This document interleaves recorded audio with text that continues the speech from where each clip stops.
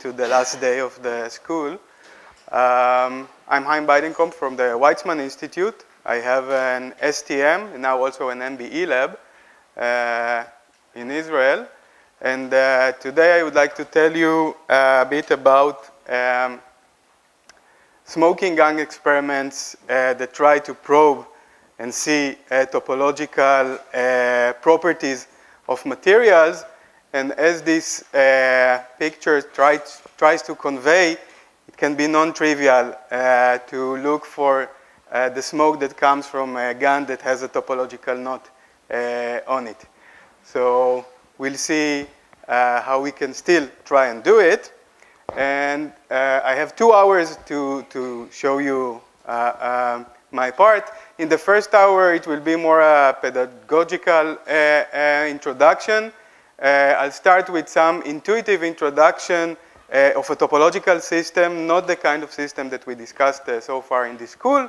and then I'll, I'll show you one evolution of one aspect of topology, um, more fundamental uh, in topological insulators. And then in the second part, I'll discuss more current, recent works that uh, we conducted in my lab, looking at uh, topological properties of electrons in Weyl semimetals and uh, dual topological insulator, uh, which will be the last topic of my talk, actually the last talk also of the school.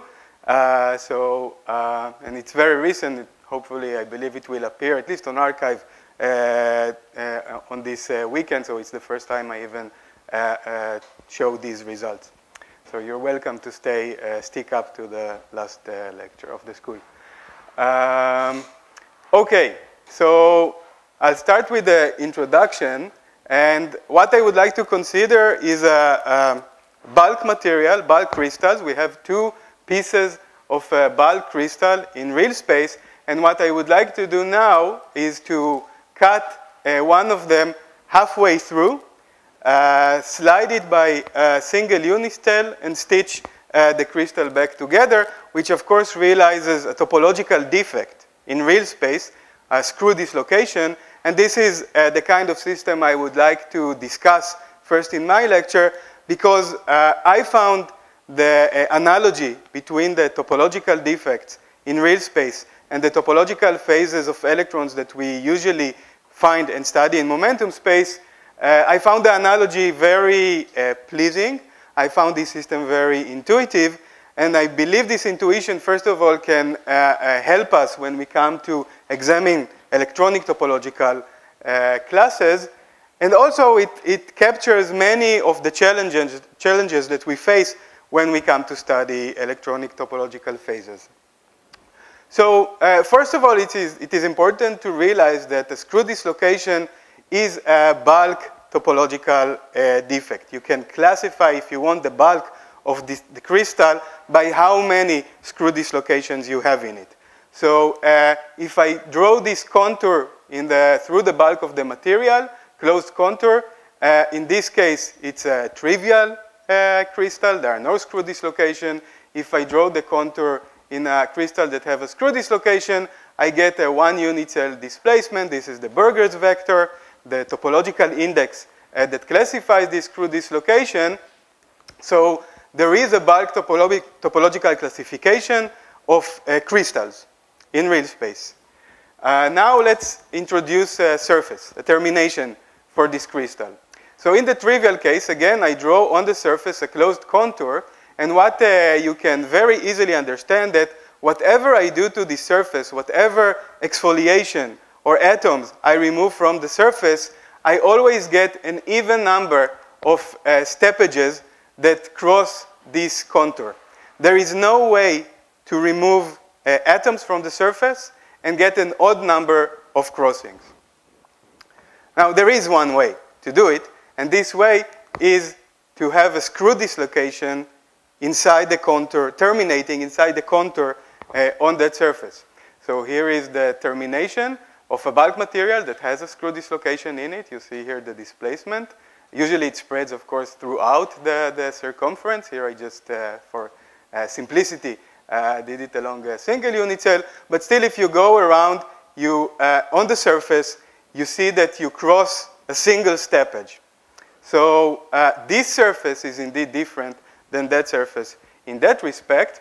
Now let's, let me show you that actually all the terminology that we know from topological materials actually uh, uh, is also valid and takes place in this case. So uh, that's the even odd uh, aspect. You can also get this uh, topological number, this Burger's vector, by integrating the surface curvature along this contour. You will pick up this displacement by the curvature of the surface, and this is the Berry phase of the screw dislocation. The Berry phase can be defined in any parameter space, not only momentum space. It can also be defined in real space, of course. Uh, so this notion also carries. You also see the bulk to boundary correspondence. So whenever I have a bulk topological defect, I get this phenomenology on the surface. This phenomenology is unique, and actually a valid definition of a topological material is a material uh, um, in which on its uh, boundaries, on its surfaces, you get states, you get modes that cannot be realized anywhere else. They can only be realized on the surface termination of a topological material. So whether these are the chiral edge modes in a quantum Hall effect uh, system, uh, uh, Dirac states in uh, topological insulators, Fermi arcs in a Weyl semimetal, and so on. Uh, in the same way, you cannot get uh, a single edge state, an odd number of edge states crossing this contour, but in a material that has a screw dislocation, you cannot get an edge state, a, a edge, sorry, a step edge that terminates somewhere at a point unless it terminates at the at surface termination of a screw dislocation. Uh, you may ask yourself, where is the other half uh, of degrees of freedom? Where is the other half of the step edge? So what the screw dislocation does is, well, does in some sense, is take this half and uh, puts it on the other facet of the material. So if I create another termination, I find the other half of the, the missing half of this step edge. And this, again, happens in topological materials. In a topological insulator, you get one Dirac band on one surface, which uh, breaks fermion doubling. The other Dirac band is found on the opposite surface of the material. Same for Fermi arcs.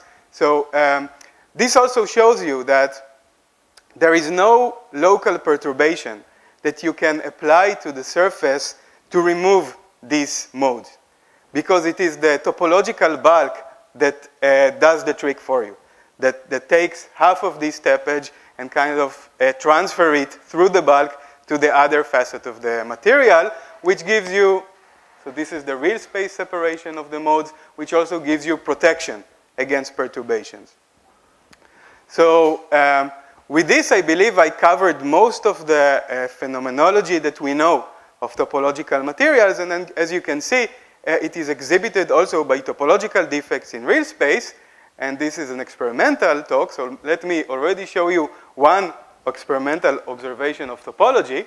So this is an STM topography of the 111 surface of uh, copper, uh, which is a trivial material, or maybe it's not actually. There are works that claim already that copper is also topological at higher energies.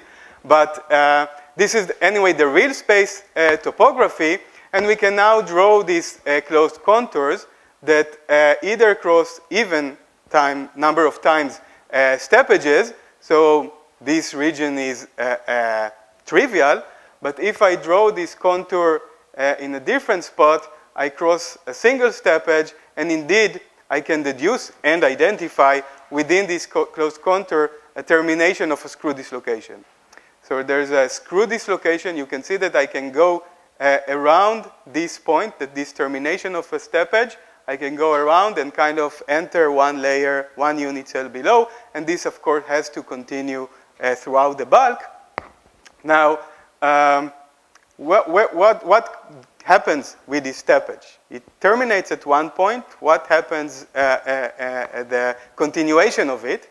So either it can go on forever or until it hits the edge of the sample, or it can terminate at a second screw dislocation that has the opposite uh, chirality, which uh, then gives us this uh, step edge, the surface mode uh, that uh, starts and terminates at the surface termination of screw dislocation with two uh, opposite chiralities. So if I go back to the topography and start to walk along the step edge, I indeed end at a second screw dislocation that has the opposite chirality. And I guess you can uh, understand by now uh, what kind of analogy I'm trying to draw to what topological system a screw dislocation is really analogous. And this is uh, the real space uh, version of a Weyl semi-metal. So a Weyl semi-metal has two Weyl cones with opposite chiralities. Uh, and on the surface termination, on the surface projection, between the surface projections of these Weyl nodes, we get a Fermi arc, uh, an open contour uh, electronic mode that uh, terminates at the uh, surface projection of these uh, Weyl nodes. And of course, the counter Fermi arc is found on the other side of the material. So um, the correspondence is, is almost one-to-one -one, to a Weyl semi-metal. And actually, this intuitive understanding made me think, and I don't have an answer, maybe one of you will have an answer, whether we can now uh, apply it in the opposite direction. Can we now think of electronic topological system and try to look for new types of topological defects in real space, like the real space analog of a topological insulator?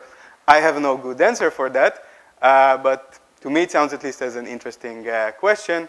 But uh, that was the uh, kind of the, the uh, intuitive introduction that I wanted to make. But what we can draw from it, first of all, you you see that we already uh, measured some topology in experiment, topological defect by, uh, by STM, by measuring the local topography. Now what uh, really happened uh, started 30 years ago and gained momentum 10 years ago, a bit more, uh, with the introduction of uh, the broader topological classification, is that we understood, or we, we were taught, how to transfer this real space classification to momentum space.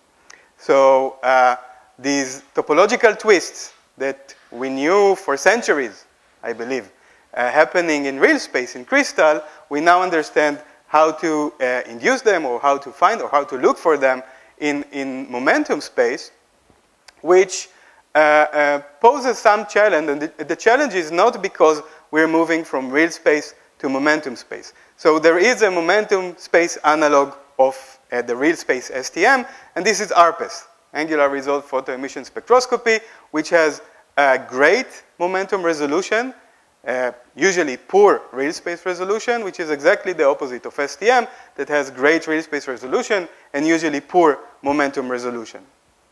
Uh, so the problem is not with the fact that it's happening in momentum space, the problem is more because uh the topological twist can be more obscure can be harder uh, to look for. For example, in a topological insulator, what you're left in in the bulk is an insulator, is a gapped bulk. It's true, you got some inversion somewhere along the process, and if you have some tuning parameter to drive this, you can really look for this process.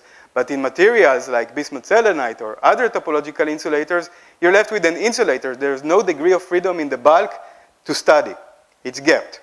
What we usually resort to is the uh, bulk boundary correspondence, the surface uh, uh manifestation of this uh, topological classification, which is unique. It's not that uh, if, if, I, I, if I'm able to really prove that I have helical surface state, a single copy of a helical band on the surface, this is a, a, a valid uh, proof that this material is, is topological. Again, this is a valid definition of a topological material, this uniqueness uh, of its uh, surface states. So this is usually what uh, we try to do in experiment, or at least when using surface probes, which were very useful techniques because of that reason. And this for I will mainly concentrate on ARPES and STM. In the first part of my talk, the second part will be mainly STM because it will be mainly our results. So uh, the um, equation, the process that governs uh, many of the uh, measurements that we conduct in physics is the Fermi golden rule, the first order, or maybe higher order in other cases, uh, perturbation theory. So let's look a bit closer into it. Um, so it, it gives you the rate of uh, transition under some perturbation. Uh, so what you want to look for is a system in its ground state. So these initial and final states are the ground state, equilibrium states of the system. You apply some external perturbation and look for the rate of the transition weighted by the uh, density of states of initial or final state. So let's go over the different uh, symbols that we have here. So you can sum depending on the experiment. So all, all of these depend on the particular experimental technique that you want to apply and the way you apply it.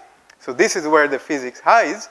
So the summation can either go over the initial states, the final states, both of them, neither. If you're looking for some resonant process, then you look at for a transition between a specific initial and a specific final state. These initial and final states uh, are, first of all, the electronic states of the system of interest, but it can be a single particle state if correlations are absent, or it can be a many-body state. So when you uh, pluck out an electron for a system, if it was interacting with other, the other electrons in the system, the the, all the electrons must respond to this uh, perturbation in a sense. On top of that, you have other degrees of freedom that are part of these, of these states. Uh, these can be photons in the case of ARPES. It can be the electrons in a different subsystem in the case of uh, scanning tunneling microscopy, the electrons tunneling from the tip to the system of interest or vice versa. It can be neutrons interacting with uh, magnetism in the case of neutron scat diffraction. Uh, uh many different degrees of freedom, phonons, uh, really depending on the specific experiment you're interested in. There's the perturbation that you apply. So uh, um, either to first order, or sometimes you look at higher order processes, two photon scattering. Uh, um, there are many variants. Uh, in the case of ARPES, for example, you absorb a photon and you uh, uh excite an electron from the system to higher energy. In the case of STM, you annihilate uh, an electron in one subsystem and you tunnel it into a different subsystem. So this is taken care of by the different perturbation, each uh, technique. Uh, uh, implements a specific uh, perturbation. And then we have this seemingly weight, naive weight in this equation. However, the physics that we're after, at least uh, when we come and study topological uh, states, is usually found in the density of states, in the density of available either initial or final states, uh, or both of them, because this, this part has the density of states, the band structure of the material, and this is some matrix element that allows you to probe it. Uh, what we usually prefer to do in ARPES and STM is to be in a, a situation where this matrix element don't have any interesting contribution, any interesting physics, which allows us to probe the, uh, just the density of states of the material. But sometimes interesting physical processes can uh, uh, come into play through the uh, matrix element, through the summation. Um, so this is what we'll see next. Uh, feel free to stop me at every point, of course, uh, if you have questions. This is a school and not a conference. Um, so now uh, let's start to look at actual experimental measurements of topological insulators. And what I would like to cover is kind of the, uh, the evolution of the uh, story of uh, uh time reversal symmetry breaking in topological insulators and how it was uh, um, uh, measured by both ARPES and STM and where, where is our understanding, or at least my understanding, of this topic. So Leslie already uh, covered very nicely uh, ARPES, the ARPES technique yesterday. Let me just summarize what she already said. Uh, you shine light, photons on the surface of the material. Uh, they um, excite, uh, they are absorbed and excite electron out of the uh, material. As she said, usually the skin depth is much larger than, much longer than the mean free path of the electrons, which is the really what makes ARPES surface probe. It's not the, the photon, it is actually uh, uh, the amount of uh, scattering that the electrons exhibit on their way out from the uh, material. So only the electrons close to the surface uh, manage to escape. the surface termination breaks the translational invariance in the direction perpendicular to the surface, but it is conserved parallel to the surface. So uh, it is very easy to relate the uh, uh, kinetic energy of the ejected electron and the angle to which they are injected back to the uh, momentum, the in-plane momentum they had inside the crystal. It is a bit harder to relate uh, the, uh, to extract the momentum perpendicular to the surface, mainly because it's not really a good quantum number once you introduce a surface termination. Basically what happens is that for the electron to escape, it needs to invest some of its energy to surmount the uh, work function on the surface that keeps all the electrons inside the material if you want. So it invests some of its energy uh, uh in, in, this uh, uh, surface potential. It is not elastic. Um, and this inner potential is something that you don't know. You can either try and calculate it, or you can vary the uh, photon energy and usually uh, use the periodicity of the Brillouin zone, measure several Brillouin zones, and look for the periodic structure and extract from it the, uh, this inner potential, what is called the inner potential. But uh, it is less of a problem in topological cases because for two-dimensional surface states, there is no um, Z, depend, uh, Z dispersion. So what usually uh, people do is just to uh, vary the photon energy and show that nothing cha changes in the uh, measured dispersion because there is no KZ dependence to, to the dispersion. Um, okay, so this is ARPES. And let me switch to the first uh, uh observations of topological insulators as they were uh, detected in ARPES. So this is uh, the first topological insulator, uh, th sorry, three-dimensional topological insulator uh, that was realized. Uh, it, of course, followed the mercury telluride that we heard about uh, in the previous talk. Um, so this, this, is the ARPES measurement from uh, Zahid Hasan's group of bismuth antimony, the alloy bismuth antimony. And um, as in the case of the screw dislocation and the odd number of step steppages found on the surface termination, what was measured here is an odd number of surface bands that cross the Fermi energy. And you can see maybe a slight problem, slight challenge. There was a, a, a debate about this measurement because two of these, these bands happen within the resolution of the experiment happen to kind of overlap in, in energy and momentum. Uh, and the whole observation re relies on the counting of the bands. So here, you really need to count twice. If you follow the dispersion, you can indeed claim that one comes here, and you can back it up with DFT calculations. Um, but you know, relying just on the even odd uh, number can be problematic because maybe the matrix element is not the same to all bands. So maybe you're missing. You didn't visualize one of the bands. Um, or maybe this is not uh, two bands uh, over, overlaying each other. Maybe you're limited by resolution. But anyway, this was the first observation. And of course, the first material was uh, uh a bit too complicated. In a sense, we had five uh, surface uh, bands, which summed up to an odd number. Uh, but then came the more canonical topological insulator that had a single surface band, uh, namely bismuth selenide and bismuth telluride. Uh, and this surface band was visualized. Its spin texture was visualized in spin ARPES. So this seems like really a valid identification of, of uh, unique surface states that resides on the surface of, uh, uh, of a material and classifies it as a topological insulator. Great, so we learned that uh, uh, topological insulators indeed exist in nature, And the next thing uh, many people try to do is to uh, break the symmetry that protects them.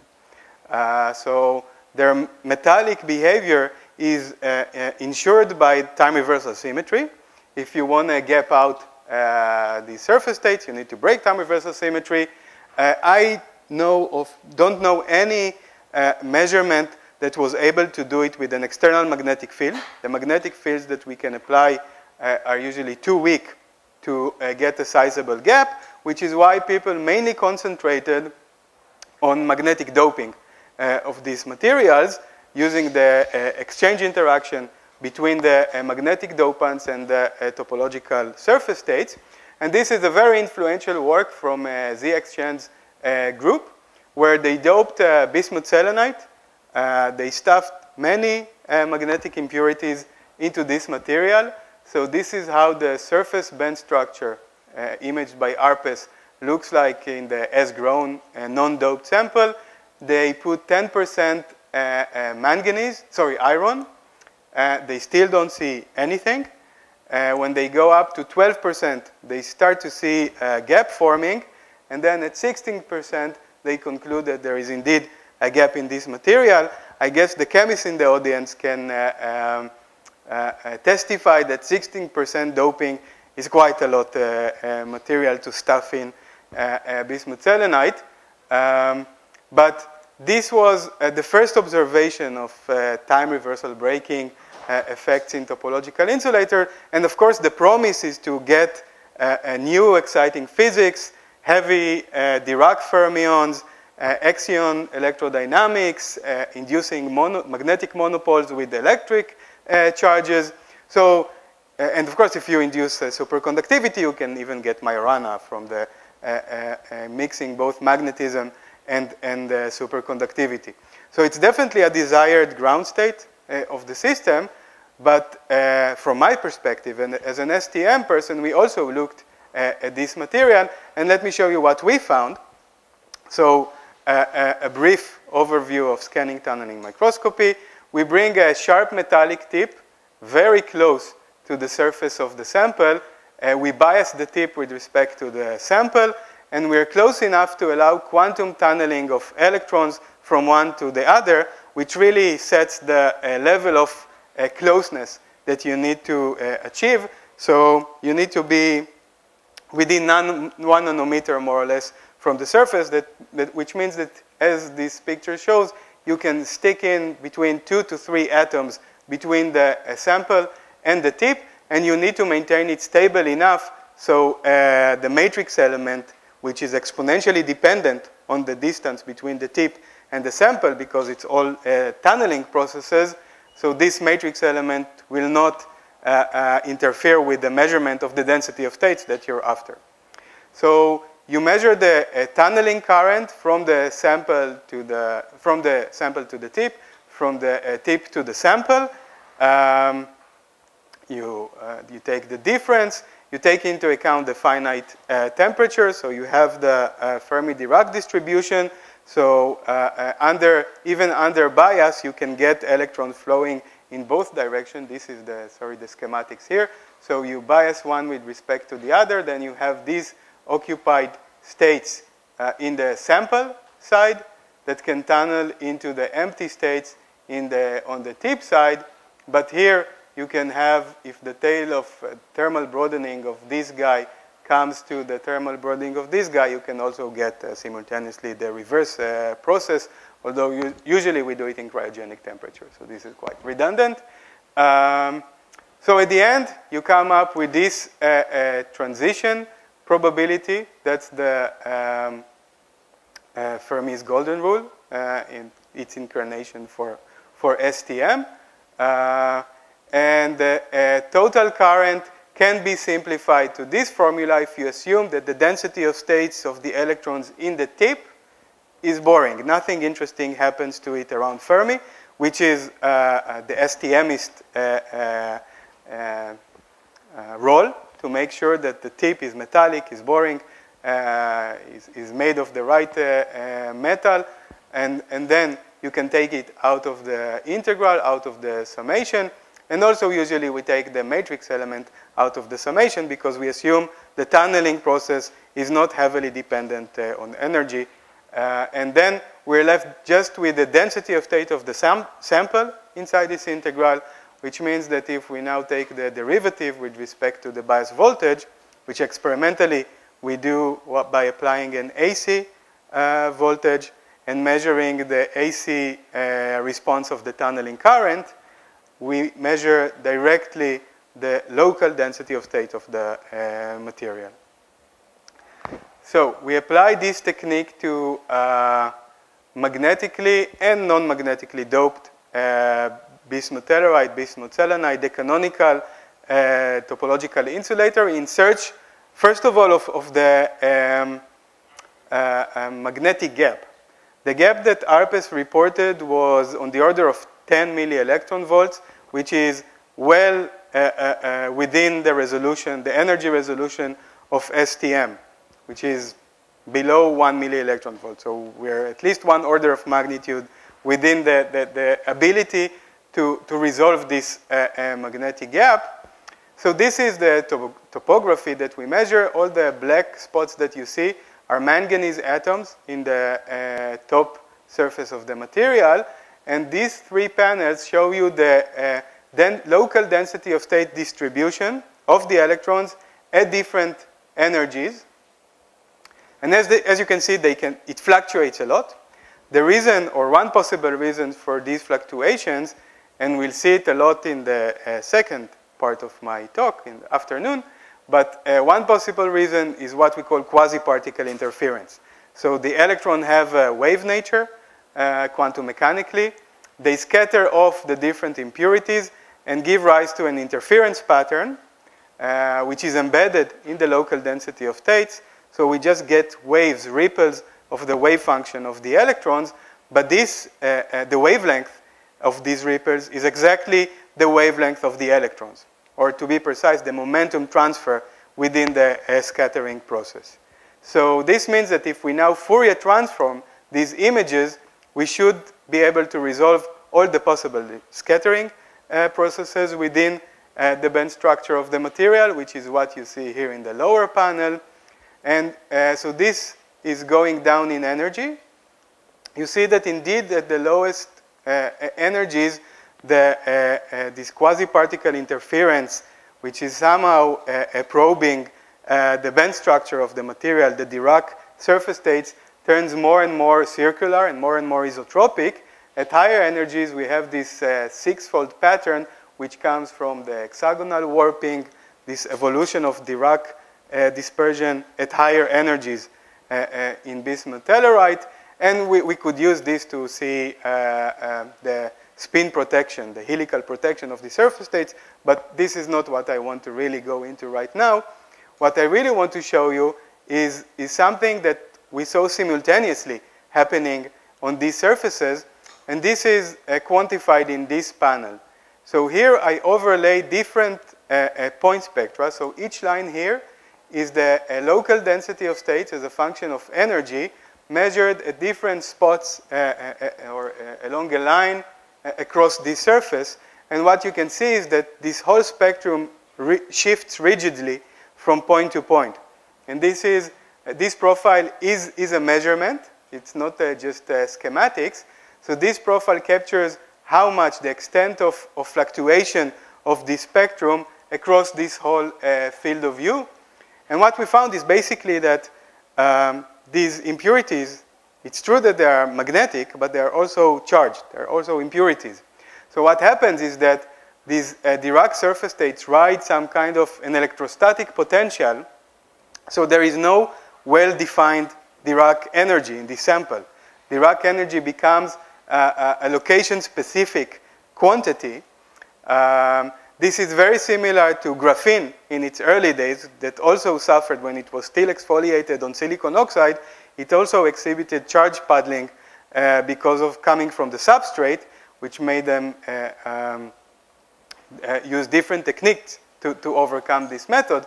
But if you want to break time reversal symmetry in topological insulator and applying an external magnetic field is not good enough, then you're only left with introducing dopants into the material. However, the fluctuations that you get are on the orders of tens of milli-electron volts.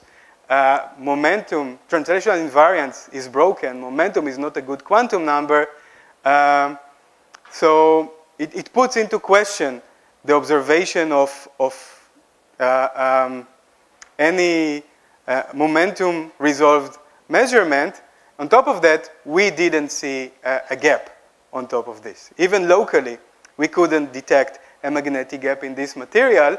So from STM perspective, it looked more that uh, maybe ARPES saw really the effect of disorder on, the, on, on, on momentum as a good quantum number than uh, uh, uh actually the gapping out of the um, uh, surface states. And just to give another uh, point of view on the same topic, later came magnetization measurement, local magnetization measurement of the same surface, uh, also from Weizmann Institute. This is a very exciting new technique that was developed. It's the smallest ever uh, SQUID, uh, which is uh, sitting at the end of a pulled pipette. Uh, and they used it to measure the local magnetization of magnetically doped bismuth selenide. Sorry, this was already bismuth telluride selenide, which is the optimal uh, topological insulator. It has the, it is the most resistive one. and still, they didn't find uh, ferromagnetism in these materials on the surface. What they did find was super paramagnetism, which means that the spin kind of coalesce into uh, clusters in a sense. They respond uh, uh, collectively to an external magnetic field, but it's still paramagnetic. You need to apply a magnetic field to make them respond. There was no ferromagnetic uh, signature in these materials. And of course, without ferromagnetism, um, time reversal symmetry is not broken, and which is another indication that actually something else is uh, uh, probably happening in these materials. Um, so I use this story to show you how ARPES and STM kind of tackle the same uh, uh, issues from different angles, one having very good momentum resolution, the other having very good real space resolution, uh, with some uh, uh, ability to, to uh, have a statement, of course, also on momentum space by the quasi-particle interference. At the same time, um, nano ARPES is being developed, and once it's really operational, uh, ARPES would also be able to say uh, uh, statements about uh, local dispersion of material, but of course, uh, the uncertainty principle tells you that it comes with a price. You cannot have both a, a perfect real space resolution and, and momentum space resolution. And if you go into the details, you see that you indeed pay this price. For example, in STM, you must introduce uh, impurities in order to scatter the electrons and say something about their momentum. But then you start to break more and more translational invariance. So there is some sweet spot where you can still say something about momentum, um, with STM, but if you have too much disorder, then uh, momentum is no longer a, a, valid quantity and you, you cannot extract any information. So uh, uh, pure STM is kind of the real space ex extreme. Uh, pure ARPES, normal ARPES, is the momentum uh, extreme. And you can play on this uh, in, in, between by either putting disorder by uh, going into nano ARPES.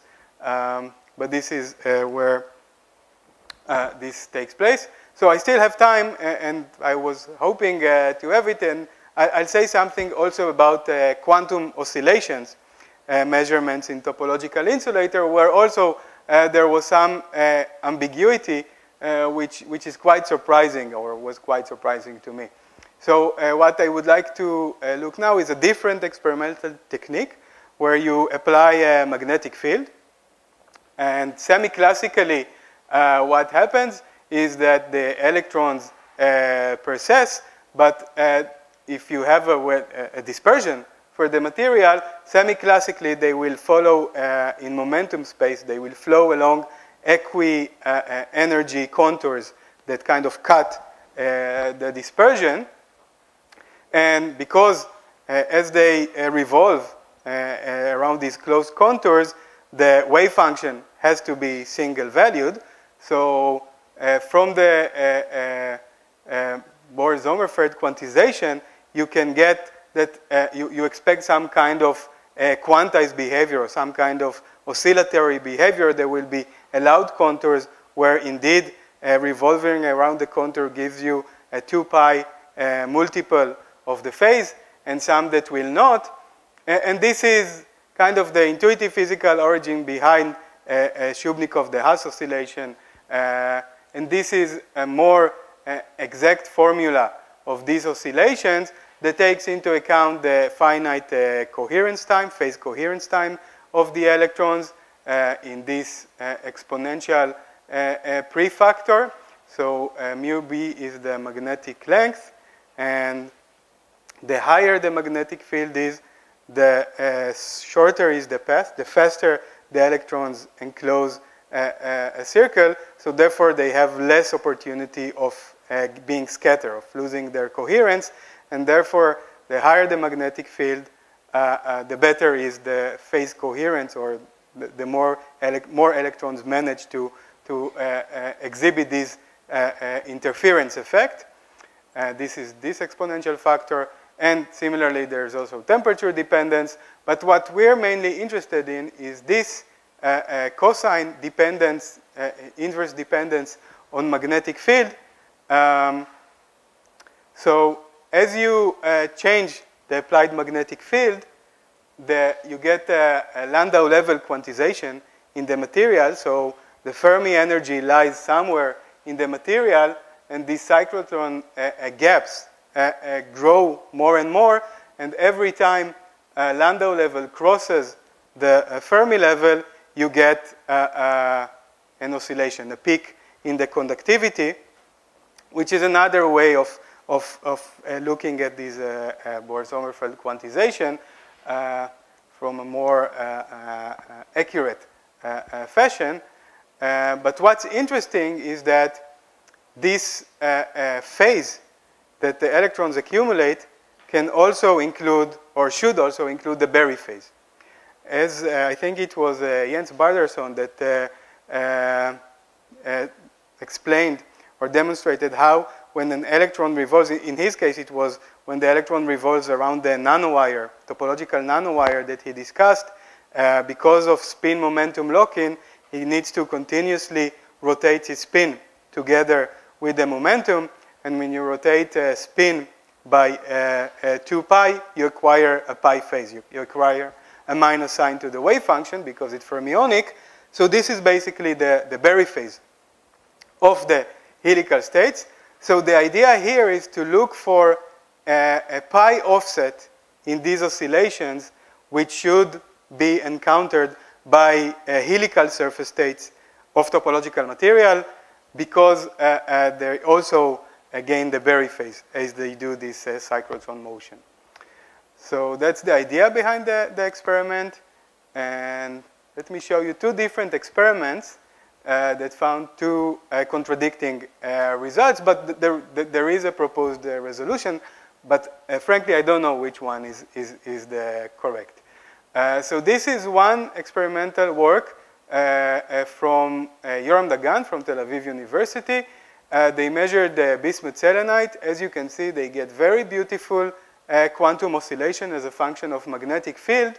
Um, they look at the angle dependence, so they rotate the magnetic field from the out of plane direction towards the in plane direction uh, and, and see how the period is, is affected by it. And of course, if, you, if, the, if you're looking on two dimensional surface states and apply an in plane magnetic field, the electrons should not uh, uh, do any uh, cyclotron motion. Uh, if it's a three dimensional, material, then maybe you get some anisotropy, but you should get quantum oscillation at all given direction. And this is the inverse cosine behavior that they fit here is exactly the uh, projection of the magnetic field uh, component onto the out of plane uh, direction. What I'm trying to say is that this oscillation fill only the out of plane component of the magnetic field. And this is a proof uh, or demonstration that what they really look at is a two-dimensional uh, surface states on the surface of this material. So this seems to work nicely. But then they extract from these oscillations the offset uh, in the phase, which is shown here. So here the high magnetic field N would be here. These are the uh, low Landau level. So in order to bring the lowest Landau level to the Fermi energy, you need to apply uh, the strongest magnetic field. So that's high magnetic field. And as you can see, uh, both these curves, and I'll tell you in a minute what's the difference between them, but at high magnetic field, both these curves seem to find a trivial phase, zero uh, Berry phase. Uh, lo at low magnetic fields, this curve is still gives still zero. This curve gives uh, the desired pi value. Now, the difference between these two is, is what kind of a period they look at. So these oscillations has a, have a well-defined period. Actually, if you Fourier transform them as a function of 1 over b, you find a, a very uh, well-defined resonance, which is uh, 198 Tesla. But what they claim is any deviations from this value can take it from trivial to topological, so it's tricky. Uh, on top of that, they claim that uh, the Zeeman effect can also contribute into this, and, and this can explain this evolution from a topological Berry phase at low magnetic field to something that looks non-topological, but it's not because it's non-topological, it's because Zeeman effect starts to play a role and kind of obscures the behavior. But uh, uh in my view, it gives kind of a mixed uh, uh, picture of the Berry phase uh, uh, in topological insulators. And then there's a paper by Ong and company from Princeton. in this paper, there's a whole section which is devoted to whether you should look at the resistivity, resistivity maxima or minima. And if you go in the cosine function from uh, looking at the maxima to looking at the minima, you get a pi shift. So uh, this is a very crucial uh, element, and still uh, uh, papers are written on whether you should look at the maxima and the minima, and it has to do with the bulk conductivity. So the conductivity is always a tensor, and what is the right way to invert it. And what they basically show is that if you invert it in the way they suggest is the correct way, you indeed, indeed get a pi Berry phase. But uh, uh, Uh, uh, as a reader, uh, uh, the, the feeling that I get is that at least this observation, although it should have been a striking measurement of the Berry phase, is quite model or interpretation dependent, and which means that we should at least look for some other supporting evidence, although the promise was to really get a direct measurement of the Berry phase, which would have been great. So I think uh, this is where I would like to end this section of my talk. Guess it's a bit early, but uh, I will compensate for the delay uh, in the beginning. And in the uh, next section, I will talk mainly about our STM measurements of a Weyl semi-metal and of a dual topological insulator. So if there are questions, then I'd be happy to answer.